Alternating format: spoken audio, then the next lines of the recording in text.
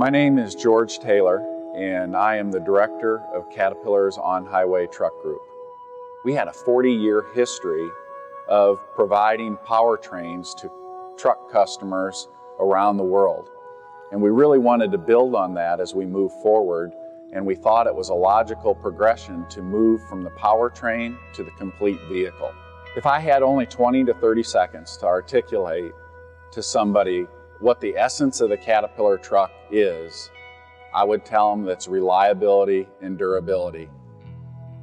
We know what cat, uh, customers expect from Caterpillar. So when we're developing a truck, we know the types of things that our customers want to see in terms of reliability, in terms of durability, in terms of quality, and the way the product will actually look. Some people have even questioned whether we're committed to the truck industry, and I would point back to 40 years of history in that business. Our dealers in North America have over 2,200 service bays. I think that would match any truck manufacturer's commitment to servicing and being there for truck owners. We've always been focused on helping customers make more by leveraging uh, the machines that we've sold them and by the engines that they put into their trucks. Now we have control of the complete vehicle on the truck side and the machine side to make that synergy even greater than it's been in the past.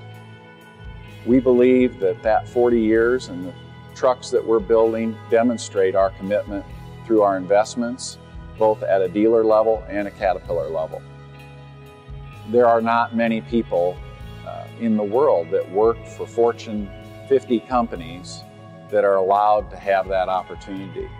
And uh, when we see that truck on the road, and I've seen it several times from a test standpoint, there's an incredible sense of pride for being able to, uh, or be, being given the privilege of, of leading the group that's responsible for doing that. But it's overwhelming at the same time because uh, every new business has an opportunity to succeed or fail.